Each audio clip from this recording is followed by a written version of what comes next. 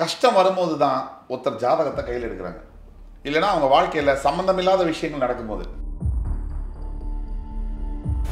உங்களுடைய ஃப்ரெண்ட்ஸ் சொன்னதா இருக்கக்கூடாது. சுயமா நீங்க என்னைக்கு சிந்திக்க ஆரம்பி இந்த வட்டத்துக்கு அப்பாற்பட்டு சிந்திக்க ஆரம்பிக்கிறீங்களோ அன்னைக்கு தான் நீங்க லட்சத்துல ஒருத்தரா நீங்க இருக்க போறீங்களா? லட்சத்துல ஒன்னா இருக்க போறீங்களா? ரெண்டு தான் விஷயம். யாராவது வாழ்க்கையில வரலாறுல கல்லை வாங்கி கல்லை போட்டு பெரிய ஆள் ஆனேன்னு சொல்லியிருக்காங்களா? கல்லை விற்கிறவன் தான் பெரிய ஆளா இருக்கான். கல்லை போட்டவன் என்னைக்குமே? மறைந்த பாரத ரத்னா முதலமைச்சர் எம்ஜிஆர் ராமச்சந்திரன் அவர்கள் ரெண்டு ரூபா சம்பளத்துக்கு நாடகத்தில் நடிச்சிட்டு இருந்த போது ஒரு ஜோதிடர் அவரை பார்த்து நீ இந்த நாட்டுக்கு இந்த வருஷத்துல ராஜாவா வருவேன்னு சொல்லியிருக்காரு. அவ்வளவுதான். நான் சொல்ல வர்றது என்னன்னா சிலது மூட நம்பிக்கைகள் ஆனா இந்த ஹோம திரவியங்கள் பூஜா புனஸ்காரங்கள் மூட நம்பிக்கைகள் அல்ல.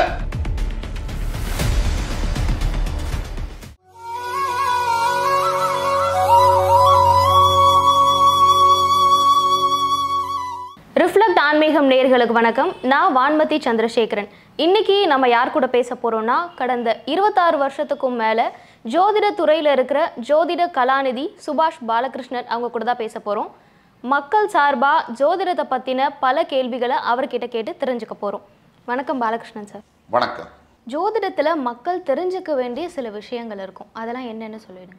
முக்கியமா ஜோதிடத்துல மக்கள் தெரிஞ்சுக்க வேண்டிய சில விஷயங்கள்னா உங்கள் லக்னம் என்ன?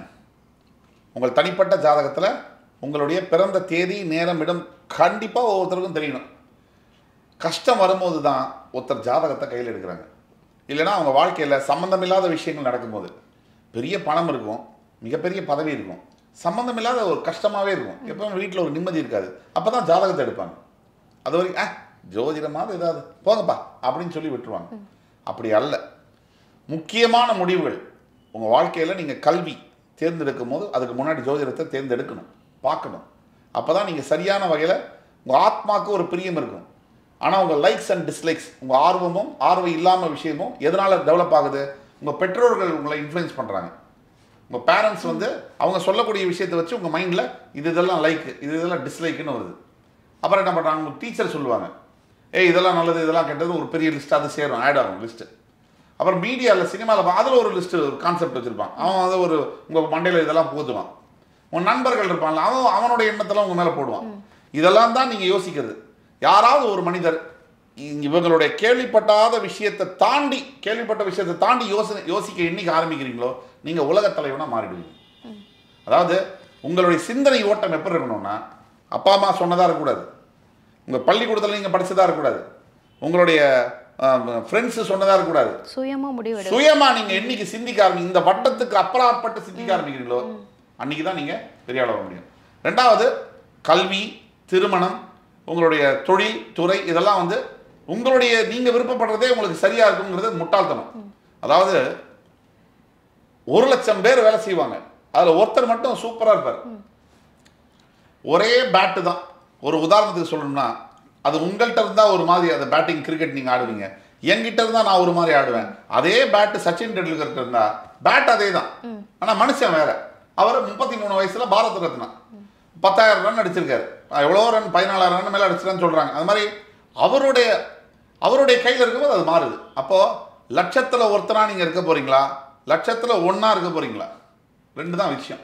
அப்போ நீங்க ஒரு லட்சம் பாட்டு பாடணும் அப்படின்னா எஸ்பிபியால முடியுது. ஏன்னா அவருடைய ஜாதகம் லக்னம் அதுவும் அவருடைய தொழிலும் ஒரே நேர்கோட்டு லைன்ல இருக்கும் போது அசாதாரணமான வேர்ல்ட் ரெக்கார்டை அவங்களால பண்ண முடியும். பத்தோட ஒண்ணா வேலை செய்யற அவ்வளோ பேர் கூட்டம் ஏன் இருக்கு அப்படின்னா அவங்க ஜாதகத்துல ஒண்ணு இருக்கு. இவங்களோட விருப்பு வெறுப்பு வேறையா இருக்கு.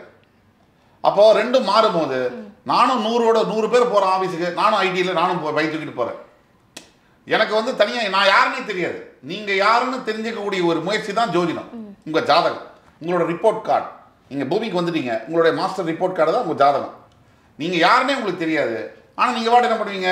எனக்கு வந்து இன்ஜினியர் ஆகணும். எனக்கு டாக்டர் ஆகணும். இன்ஜினியர் டாக்டராக தான் டாக்டர் இன்ஜினியராக தான் வக்கீல் அஹ், இப்படி மாற்றி மாற்றி பண்ணும்போது அந்த தொழில நீங்க முன்னேற்றம் அடையாத ஒரு சூழ்நிலையை பார்க்குறீங்க.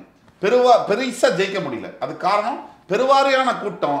ஏதோ ஃப்ரெண்ட்ஸ் சொன்னா சினிமாவில் பார்த்தேன் ஒரு படம் பார்க்குறது. அதுல ஒரு சீன் வரும். உடனே தீர்மானம் பண்ணிடுவான். இவனுக்கு இன்ஸ்பயர் ஆயிடும். ஏ இதுதான் சூப்பர் இன்னையிலேருந்து நான் வந்து இந்த துறையில போறேன். இதெல்லாம் வந்து ஒரு அறிவீனமான சமாச்சாரம். இப்படி இல்லை. உங்கள் ஜாதகத்துல உங்கள் லக்னம் எதை விரும்புகிறதோ அந்த துறையில் நீங்கள் இருக்கும்போது மிகப்பெரிய சாதனையை நீங்கள் படைப்பீர்கள் என்பதில் கொஞ்சம் கூட எல்லளவும் சந்தேகம் இல்லை. ஜோதிடம்னா என்னன்னு புரியாத மக்களுக்கு கூட ரொம்ப தெளிவாக புரிய வச்சிட்டீங்க. இப்போது செவ்வாய் தோஷம் இருக்கிற பொண்ணு வந்து செவ்வாய் தோஷம் இருக்கிற பையனை திருமணம் பண்ணலாமா? நல்ல கேள்வி. அதையும் நம்ம உடைச்சிருவோம் செவ்வாய் தோஷம். முதல்ல செவ்வாய் தோஷம்னா என்னன்னு தெரியணும். அதுக்கப்புறம் நம்ம செவ்வாய் தோஷம் பையனுக்கு இருக்கா பொண்ணுக்கு இருக்கான்னுலாம் பார்க்கலாம். ஒன்று ரெண்டு நாலு எட்டு பன்னெண்டு. இந்த இடத்துல செவ்வாய் இருந்தால் செவ்வாய் தோஷம் ஒன்று நாலு ஏழு எட்டு பன்னெண்டில் இருந்தால் செவ்வாய் தோஷம் இதில் இருந்தால் மட்டும் செவ்வாய் தோஷமா கண்டிப்பாக கிடையாது. இந்த இருக்கிற செவ்வாயை குரு பார்த்துட்டார். அஞ்சு ஏழு ஒன்பதாம் பார்வைகளால் குரு பார்த்து விட்டால் செவ்வாய் தோஷம் இல்லை. இந்த செவ்வாய்க்கு வீடு கொடுத்த கிரகம் ஆட்சியோ உச்சமாகிட்டால் செவ்வாய் தோஷம் இல்லை. இந்த செவ்வாய் கூட சுக்கரன் இருந்துட்டால் செவ்வாய் தோஷம் இல்லை. இந்த செவ்வாயை தனித்த புதன் சமசப்தம பார்வையால் பார்த்து விட்டால் செவ்வாய் தோஷம் இல்லை. இப்படி இது மாதிரி ஒரு நூற்றம்பது விதிவிலக்கு இருக்கு. இந்த விதிவிலக்குகள் எல்லாம் தப்பாம வரக்கூடிய செவ்வாய் தான் செவ்வாய் தோஷம். சரி அப்படியே செவ்வாய் தோஷம் ஆயிடுச்சு. உடனே செவ்வாய் தோஷம் இருக்கிற பொண்ணை தான் கல்யாணம் பண்ணுமான்னா அதுவும் தப்பு. அந்த காலத்துல ஒரு கிராமத்துல நூற்றம்பது குடும்பம் தான் இருந்தாங்க. அதுல ஒரு பையனுக்கு செவ்வாய் தோஷம்னா அடுத்தது செவ்வாய் தோஷம் இருக்கிற பொண்ணு கிடைக்காது கல்யாணம் பண்ண முடியாது அவஸ்தைப்பட்டாங்க. இந்த வாழை மரத்துக்கு தாலி கட்டுற வாழை மரத்துக்கு தாலி கட்டுறது அப்புறம் நம்ம விவேக் சொன்ன மாதிரி கழுதைக்கு தாலி கட்டி கல்யாணம் பண்றது. அப்புறம் பாத்திரத்தை உட்கார வச்சு அது மேல பட்டையை போடுறது. இந்த மாதிரிலாம் பண்ணுவாங்க. இதெல்லாம் மூட நம்பிக்கைகள். நான் ஏற்கனவே சொன்னது போல நீங்க ஆயிரம் வாழை மரத்துக்கு தாலி கட்டினாலும் என்கிட்ட கூட சமீபத்துல போன வாரம் ஒரு பெரிய விஐபி ஒரு பெரிய பார்லிமெண்டரியன் வந்து என்கிட்ட கேட்டாரு ஐயா நான் எந்த கல் கலர் கல் போடலாம்? அப்படின்னா நான் சொன்னேன் பச்சை கல்லுன்னு. ஏன் சொல்றீங்கன்னு என்ன கேட்டாரு. எனக்கு பச்சை கலர் தான் பிடிக்கும்னு நான் சொன்னேன். என்ன சார் இப்படி சொல்றீங்களேன்னாரு. நீங்க எந்த கல்லை போட்டாலும் நல்லது தான் அப்படின்னு. அப்படியா அப்படின்னாரு. உங்களுக்கு இல்லை கல்லை விற்கிறவனுக்கு அப்படின்னு. யாராவது வாழ்க்கையில வரலாறுல கல்லை வாங்கி கல்லை போட்டு பெரிய ஆள் ஆனேன்னு சொல்லியிருக்காங்களா? கல்லை விற்கிறவன் தான் பெரிய ஆளா இருக்கான். கல்லை போட்டவன் என்னைக்குமே அதே கல்லை போட்டுக்கிட்டே தான் இருக்கிறான். இதுவும் வியாபாரம். ஆமாங்க வியாபாரம். அதனால இது கல்லு போடுறதுனால சில வேதியியல் மாற்றங்கள் உடல்ல வரலாமே தவிர வாழ்க்கையெல்லாம் மாற்ற முடியாது. ஆனா வேத ஜோதிடத்தினால மாற்ற முடியும். மறைந்த பாரத ரத்னா முதலமைச்சர் எம்ஜிஆர் ராமச்சந்திரன் அவர்கள் கோவையில மிகவும் கஷ்டமான நிலையில ரெண்டு ரூபா சம்பளத்துக்கு நாடகத்தில் நடிச்சிட்டு இருந்தபோது ஒரு ஜோதிடர் அவரை பார்த்து நீ இந்த நாட்டுக்கு இந்த வருஷத்துல ராஜாவா வருவேன்னு சொல்லியிருக்காரு. அதுக்கு பதில் இவரும் சொல்லியிருக்கேன் ஏ பொய் சொல்றதுன்னா அளவோட சொல்லியா? நான் ரெண்டு ரூபாய்க்கு சிங்கி அடிச்சிட்டு இருக்கிறேன். என்னை போய் ராஜா வருவேனா நீ வந்தே தீர்வ தம்பின்னு சொல்லியிருக்காரு. இவர் முதலமைச்சர் ஆகி அந்த ஆளை கண்டுபிடிச்சு அவருக்கு வீடு வாங்கி கொடுத்துருக்காருன்ற பதிவு இதே யூடியூப்ல பல அறிஞர்கள் சொல்லியிருக்காங்க. அதனால் ஜோதிடம்ங்கிறது உண்மை. யாராவது ஒருத்தர் நான் கல்லை போட்டேன் அதாவது பனைமரத்தில் உட்கார கா- பால் விழுந்ததுங்கிற மாதிரி அப்படி கிடையாது. காக்கா உட்கார பனைமரம் விழுந்துனா கல்லை போட்டாங்களே இவர் நல்ல கல்லுனால தான் நடந்ததுன்றது கிடையாது. கண்டிப்பாக கல்லுங்கிறது வந்து வேதியியல் மாற்றங்கள் சில கெமிக்கல் ரியாக்ஷன்ஸ் வேணால் ஏற்படுத்துமே தவிர இந்த கல்லை விற்கிறவங்களாம் என் மேலே கேச போட்டால் கூட பரவாயில்ல. ஆனால் வந்து கல்லை விற்கிறதுங்கிறது தவறான ஒரு சமாச்சாரம். கல்ல வந்து ஒரு சின்ன கெமிக்கல் ரியாக்ஷன் தான் ஏற்படுத்துமே தவிர வாழ்க்கையே அது அதை மாத்தணுங்கிறது கண்டிப்பா கிடையாது. இது என்னுடைய தாழ்மையான என்னுடைய தனிப்பட்ட அபிப்பிராயம். ஜோதிடத்துல பரிகாரம் அப்படின்றது சொல்லப்படவே இல்லை. பரிகாரம் கண்டிப்பா பண்ணணுமா? அதை பண்ணா பலன் கிடைக்குமா? கண்டிப்பா. இப்போ மெடிக்கல் சயின்ஸ்ல நீங்க எடுத்துங்க. தலை வலிக்குதுன்னு சொல்லி டாக்டர்கிட்ட போறீங்க. அவர் என்ன சொல்றாரு? இந்த டெஸ்ட் எல்லாம் எடுத்துட்டு வாப்பா. நான் வந்து உனக்கு ட்ரீட்மெண்ட் கொடுக்குறேன் நீங்க லெபார்ட்டரியில் இந்த டெஸ்ட்லாம் எடுத்துட்டு போய் அவர்கிட்ட கொடுக்குறீங்க. அவர் என்ன பண்றாரு? ட்ரீட்மெண்ட்டுக்கு நீங்க அப்படி அட்மிட் ஆகணும். உங்களுக்கு வந்து இந்த ஊசி போடணும். இந்த ஒரு ஆபரேஷன் பண்ணணும் சொல்றாரு. அதே மாதிரி தான் ஜோதிடத்துலையும் it is equal to medical science அதில் எப்படி ப்ராக்னாசிஸ் டயக்னாசிஸ் ட்ரீட்மெண்ட் இருக்கோ ஜோதிடத்துலையும் இந்தந்த தோஷங்களுக்கு இந்து மதத்தில் சொல்லப்பட்டிருக்கிற சில சாங்கித்யங்கள் இருக்கு. அதுக்கெல்லாம் பவர் இருக்கு. சின்ன எடுத்துக்காட்டு சொல்றோம்னா பெரிய சாராய முதலாளி நாற்பது சாராய கடை வச்சிருக்காரு.